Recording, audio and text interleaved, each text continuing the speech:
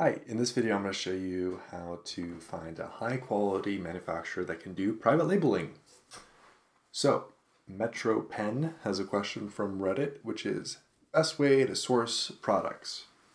They're sort of tired of Shopify and they only do generic items such as teacups, bags, t-shirts, and cups. Uh, how do they find a high quality product sell with their logo on it? It's a good question. So I'm doing this right now, and I think I found a manufacturer to do it. So uh, my partner, my business partner, and I, we sell pH meters online. We sell them on Shopify and we sell them on Amazon. Where we found our manufacturer, we looked on Alibaba, we looked all over, but where we found our manufacturer is we Googled. we Googled it.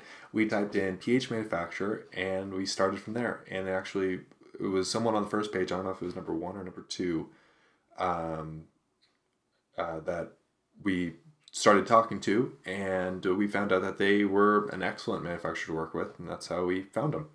Um, what I'm doing now is for uh, another product that I'm working on is um, I went on to Google again and I used Google Maps and I typed in my search term um, and uh, then manufacturer. So let's say I'm looking for um, pants. So I would type in pant manufacturers.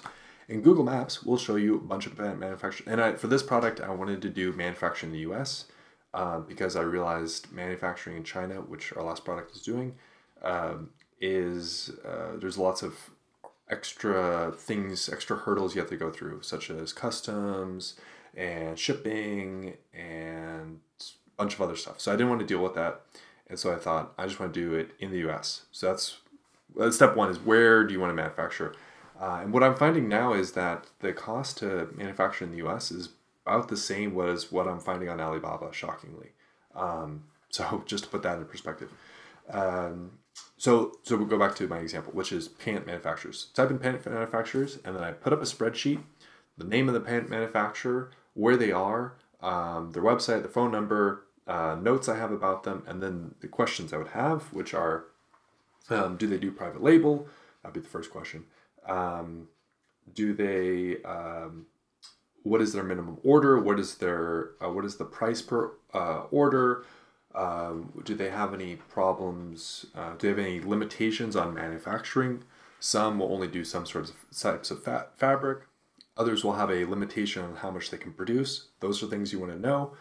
Um, and then okay, so that's how you, that's how you find it. And by calling, you'll you'll I've called 10 to 20 manufacturers.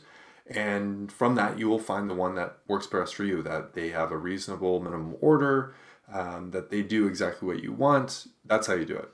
One thing I found is different industries call private labeling some everything else. Because when I started first doing it, I, I, I would just call people and say, Hi, do you do private labeling? and they say, No, we don't do labeling, we do fabric. And they would hang up on me.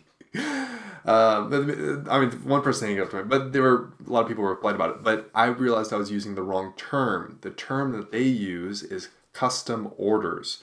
Um, so be mindful of that. Sort of don't ask them to do private labeling. Ask, tell them what you want, and they'll respond. Oh yeah, of course we do that. Um, so you know the, the different industries have different terms for it, but they're and then they're all doing it. Some people call it third party manufacturing or OEM manufacturing. Um, so make sure you're you're communicating what you want. Um, so that's that's how I would do it. Is just uh, go up on Google Maps and uh, start calling people and making a spreadsheet. That's how you make it do it. Good luck.